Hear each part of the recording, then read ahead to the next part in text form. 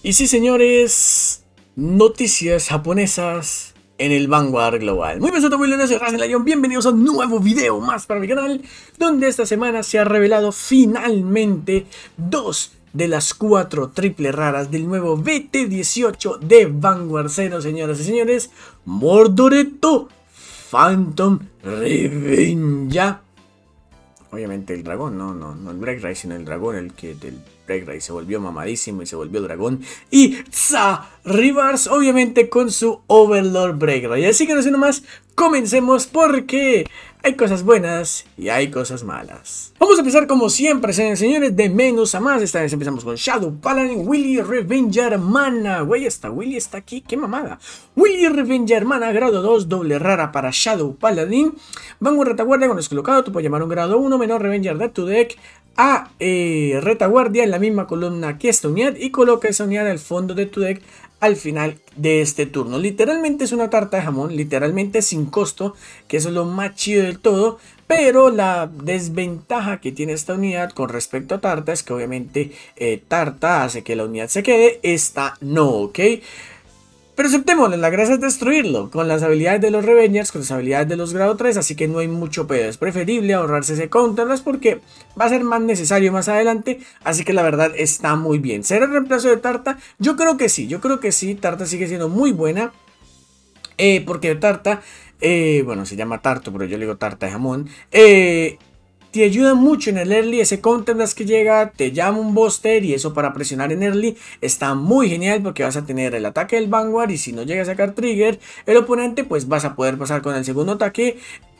No sé si se vayan a utilizar las dos, no sé si se vaya a utilizar solamente esta, dudo que se utilice solamente Tarta, o sea yo creo o Tarta eh, tarta con esta o esta sola, no lo sé realmente, habría que probar también cuánto Counterblast llega a gastar bastante el porque es que recuerde que con Tarta yo me puedo llamar al grado 1 que haces Counter Share con el Blaster Dart y pues ya está, eso, mientras no te lo destruyes vas a estar destruyendo por un Counterblast en toda la partida. Entonces eso la verdad está muy bien. Habrá que probar cuando salga en la versión japonesa a ver cómo se desenvuelve más. Porque de igual manera en Nunali Revenger también posiblemente Mascaredo obviamente eh, se tenga que llevar. Y habrá que esperar a ver si sale más grado 2 eh, que puedan hacer de que el deck funcione muchísimo mejor. ¿Qué es lo malo que tiene esto? Que es un 8000 de poder. Ustedes saben que hay veces que ah, los 8000 no pasan ciertas barreras. 8 y 7, 15, no pasan los 16.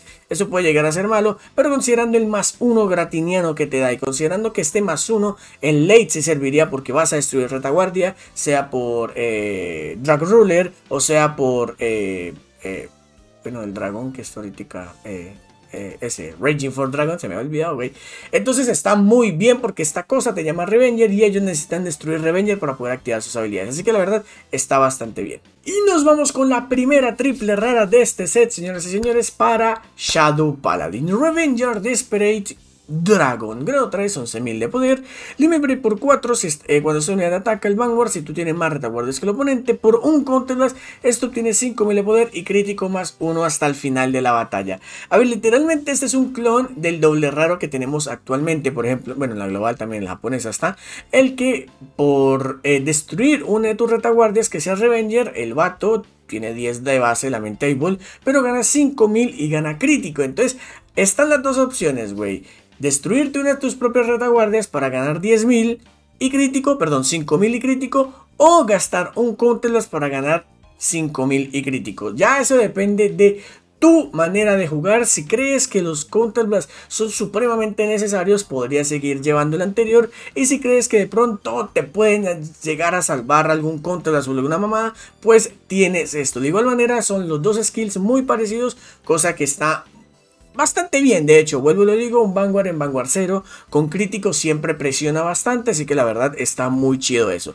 Pero este tiene una segunda habilidad, comparándolo con su contraparte doble rara, al inicio de tu main phase retire una de tus retaguardias y retira una de las retaguardias eh, del oponente en la parte de atrás aleatoriamente. Así que no está mal, es un uno por uno sin necesidad de gastar counters, cosa que está muy bien, le retira busters, cosa que está bastante bien y si el oponente no llega a tener buster pues le vas a destruir una retaguardia en la fila delantera, así que el oponente va a tener que, joder, eh, llamar Buster porque si no la va a estar chingando. Realmente es una unidad bastante buena. No sé si sea triple rara, realmente no lo sé.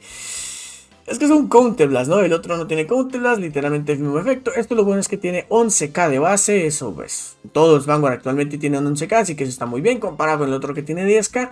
Habrá que probar ya cuando salga todo este soporte BT18 para Shadow Paladin, qué tantas unidades gastan Counter Blast, porque aquí ya se nos agrega una que es Drag Ruler, entonces ya y actualmente el Counterblast como tiene Shadow Paladin, si bien es cierto, no es que sea excesivo gracias al grado 1 que te hace counterchar cuando llega Blaster Blade, hay que saberlo maniobrar, así que bueno, habrá que esperar a ver si salen más unidades con costo de Counterblast, si no, podría llegar a ser una muy buena opción. Y señoras y señores, nos vamos con la segunda triple rara de Shadow Paladin y el jefe máximo en esta ocasión, Revenger Draco Ruler Phantom.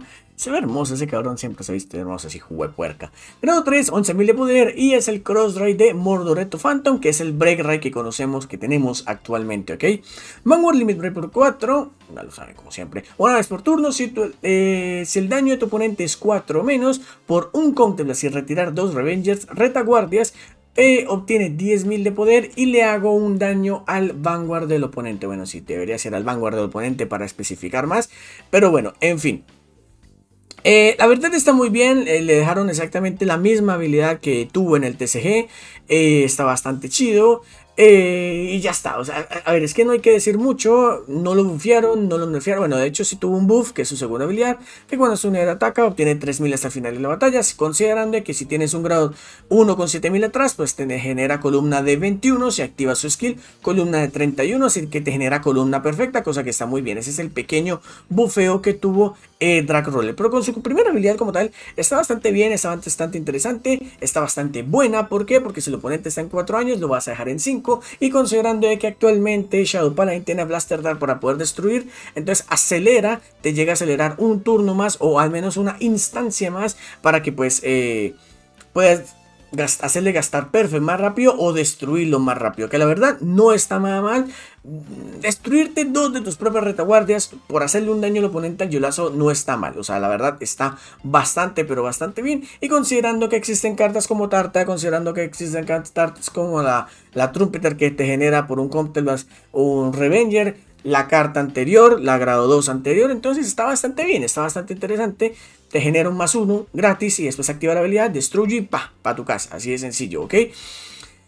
Eh, creo, creo que comparado a la versión eh, TCG, a ver, déjeme mirar un momentico, eh, sí, Efectivamente, compara la versión TCG, está nerfeado, en este caso, ok, si no me había dado cuenta, en la versión TCG eh, tú puedes activar la habilidad cuantas veces quisieras, aquí solamente es una vez por turno, ok, obviamente tenías que pagar counters por uno, dos retaguardias, pero bueno, aquí está entre comillas más equilibrado, por decirlo así, está bastante bien, vuelvo y lo digo, es que si, si, si el deck no tuviera forma para destruir eh, unidades en la front row, la verdad se hubiera sido bastante mediocre, pero tiene Blaster Dark, que por un counter, si tienes el grado 2, eh, perdón, el grado 1 Buster atrás, eh, te puedes eh, bajar cualquier cosa, acelerar tu turno eh, para destruir al oponente más rápido y o hacerle gastar PGs antes de lo que él esperaba, ¿ok? Entonces está bastante bien. Esta cosa sirve para que obviamente llegue tu oponente a 5 daño, le hagas gastar tu perfect y el otro turno llegue Raging y Raging haga su mamá de 4 ataques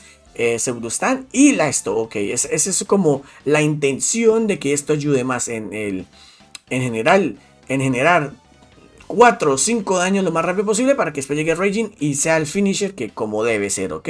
La verdad está bastante bien, bastante interesante, muy buena unidad, habrá que esperar obviamente a probarla y pues ya está. Y señoras y señores, nos vamos para Kagero, Eternal Bringle, Griffin grado 1, 7000 de poder, soporte para Kagero, ¿no? Dragonic Overlord. Con eso, con eso colocado, descarta una carta grado 3 de tu mano para agregar un Overlord del deck a tu mano. Así de sencillo, útil, perfecta, hermosa, sirve. Si te sale en early, perfecto, porque te asegura el break rate. Recuerden que ahora Dragonic Overlord es break rate, así que la verdad está bastante bien. Muy buena unidad para asegurarte el break rate, que es bastante importante, sin necesidad de tanta pendejada, sin necesidad de costo alguno. Vas a perder un trigger, sí, pero comparado con el break rate que vas a tener, la verdad vale la pena. Y sí, señores, nos vamos con Dragonic Overlord Sa. Break Ride. Grado 3, 11.000 de poder, me encanta. Yo creo que esto es uno de los Bueno, es que, es que el de la era V también era genial. Pero este arte me encanta mucho. Limit Break por 4, cuando es raideada, recuerden que es un eh, Overlord Break Raid. Hasta el final de tu turno, tu Vanguard obtiene 10.000 de poder. Y si tu Vanguard es un Overlord, gana la siguiente habilidad. Ojo, tu Vanguard tiene que ser Overlord para que gane la siguiente habilidad. Puede ser el Overlord eh, Gien y el Overlord Tsar obviamente cualquiera de los dos. Una vez por turno, cuando su unidad ataca a una retaguardia, contarlas por uno y descarta una carta de tu mano, estandea esta unidad y roba dos cartas. Literalmente la misma habilidad que tuvo en TCG, la verdad no nadie esperaba que la bufearan o la nerfearan en algún sentido, así que la verdad está bastante bien. Un Break Ray que la verdad es muy bonito y más con Jien va a ser una pinche mamada, realmente va a estar muy malón tener esos tres ataques. Eh, bastante más cómodo realmente, ya les voy a decir por qué, pinche rever mamón. Ahí ya está. Segunda habilidad durante tu turno, si tú tienes más retaguardias que tu oponente, esa unidad obtiene 3000 de poder, volviendo una columna perfecta de 21 si tienes un booster atrás, así que la verdad está bastante bien. Interesante, realmente ha llegado Overlord, el Break Ray, y está bastante, pero bastante buenardo. Autostán por medio de tu Break Ray y sin necesidad de activar efectos del Vanguard. Y muchísimo más barato de lo que es, eh, por ejemplo, eh, Downless Drive Dragon en la global y hasta Downless Drive Dragon en la japonesa, porque en la global no lo han bufeado y en la japonesa tienes que descartar dos para hacer, eh, para robar dos. Aquí descartas una para robar dos. Claro, tu Vanguard raideado tiene que ser un Overlord, no funciona con un Nubel o con otra cosa que no sea Overlord, pero bueno, si quieres una ventaja suprema, pues haz las cosas como debe ser. Y esto de que se limite Overlord está bastante, pero bastante bien. Si no, muchas cosas serían muy abusables realmente. Así que está genial. Y señoras y señores, nos vamos con la unidad más nerfeada del momento en estas revelaciones. Dragonic Burnout. Grado 2, nivel de poder. Segunda triple rara para Kagero. Retaguardia cuando es colocada, contemplas por uno y remueve un Overlord de tu Dropson para retirar una de las retaguardias del oponente. A ver, ¿Por qué digo eh, nerfeada? Porque en el caso del TCG, tengo que compararlo con el TCG para que se den una idea. En el TCG tú devolvías el Overlord al deck, al fondo del deck, si mal no recuerdo. Así que todo mundo esperaba que pasara lo mismo, por lo tanto reciclabas triggers. Así que era Nel, no voy a dejar que recicles triggers, ya tienes al Nuel, hijo de tu madre. Entonces remueves el Overlord, no recicles triggers. Pero como tal, su habilidad está muy bien. Controlas por uno de una retaguardia. O sea, está bastante bien, güey. La cuestión es que aquí te limita bastante a tener que utilizar muchos, pero muchos, pero muchos Overlords para poder activar dicha habilidad. Significa que tienes que utilizar los 4 GN, los 4 Dragonic Overlord Break y los 4 Tsar. O sea, te obliga a utilizar Overlords para poder activar la habilidad correctamente. Ya, obviamente, si todo tu deck es Overlord, pues esta habilidad está bastante, pero bastante bien. Significa que otros decks destructores, eh, perdón, otras versiones decks de Kagero no pueden utilizarlo a él cómodamente si llevan pocos Overlords y literalmente ninguno si no llevan ningún Overlord. Así que esa es como la cagada prácticamente como tal de que muchos estaban quejando de esta carta. Pero como tal está muy bien. Cuatro las por uno retira una retaguardia. Puede ser en el front row, cosa que está muy bien. Actualmente eh, el que hacía ese trabajo sucio era Berserker, que ya ni siquiera se utiliza, pero Berserker costaba dos Counterblast, así que ese era el problemilla. Realmente una muy buena carta para el deck Overlord como tal, no como se le esperaban, pero bueno, al menos un Counterblast por destruir una retaguardia está bastante bien. Y señoras y señores, nos vamos con la última carta del video del día hoy, la nerfeada bufeada que ha tenido Dragonic Overlord Salivars. Digo nerfeada, bufiada, ya se van a dar cuenta porque arte hermoso, grado 3, 11.000 de poder, limit break 4 como siempre, bloquea retaguardias hasta que tú tengas 5 cartas bloqueadas para obtener 10.000 de poder y obtiene el eh, la siguiente habilidad hasta el final del turno. Una vez por turno, al inicio de la batalla que esta unidad ha atacado, descarta una carta de tu mano para estandear esta unidad y robas dos cartas. Ok, eso está muy chido porque esto ya se sabía. El combo con el Break Ray, que ahora gracias al grado 1 Griffin, que te va a asegurar prácticamente el Break Ray, prácticamente el en primer turno, está muy bien. Llego, hago Break Ray sobre el Dragonic Overlord, ataco eh, a una retaguardia, activo el efecto de Dragonic Overlord Break Ray, estandeo mi retaguardia, robo dos cartas, Puedo atacar con Dragonic Revert y Dragonic Revert ataco, termino la batalla, eh, descarto una de mano, roba dos cartas y puff, restandeo de nuevo. Son tres ataques. El problema era qué pasaría si el oponente tiene dos retaguardias interceptando. Entonces lo que hicieron fue bufearlo de una manera que creo que no es la adecuada. Por eso le digo que buff nerf. Es una bufeada porque esto no existía en el TCG. Y obviamente tenían que adecuarlo el cero, pero creo que no fue la adecuada y volvieron caca la carta por culpa de esto. Cuando esta unidad ataca a una retaguardia, contemplas por 2, descarta un Overlord de tu mano y retira una de las retaguardias de tu oponente.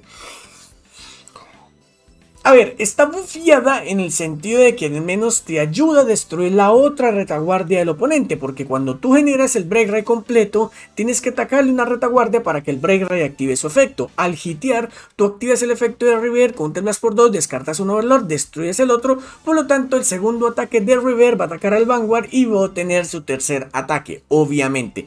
Eso entiendo lo que querían hacer. El problema es que está muy mal diseñado. Primero porque son dos Counteblas, carnal. Dos Counteblas. Son muchos Counteblas. Considerando que, eh, si mal no recuerdo, eh, Overlord Break cuesta un Counteblas. A ver, esperen que, créanme, que ya se me olvidó, chingada madre, ya se me olvidó.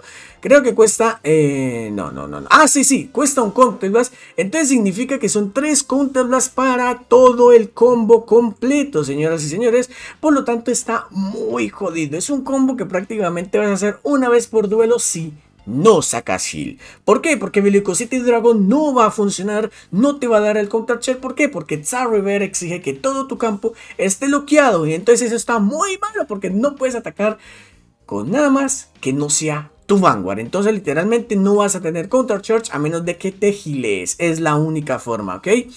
Entonces, eso está muy mal. Lo intentaron bufear para cero, cosa que está muy bien, pero lo hicieron de una manera que no era la adecuada.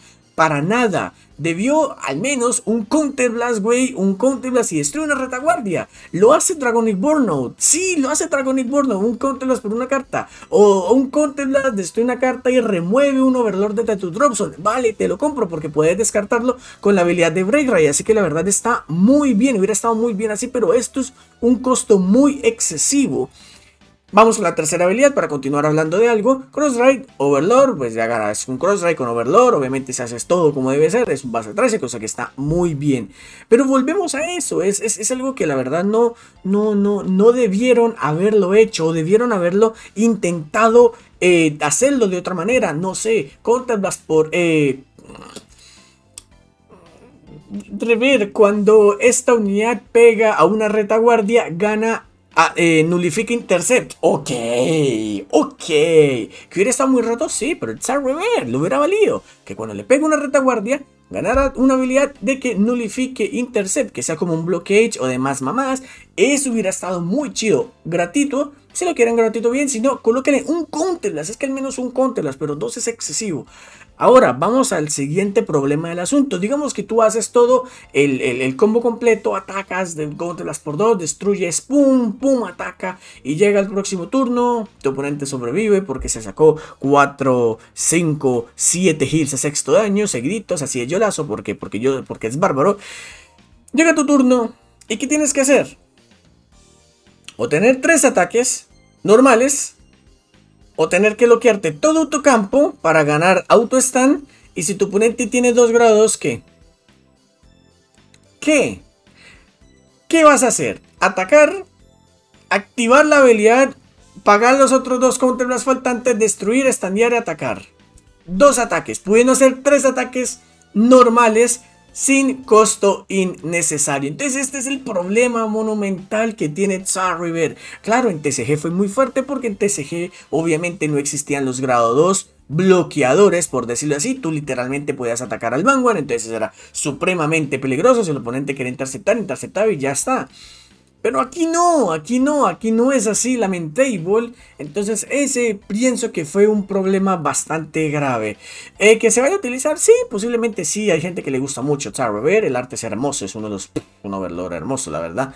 Eh, pero Mm, ese es su problema. Esperar y veremos. Habrá que esperar a ver cómo se desenvuelve Rever en la japonesa y cómo se desenvuelve en el meta, por decirlo así.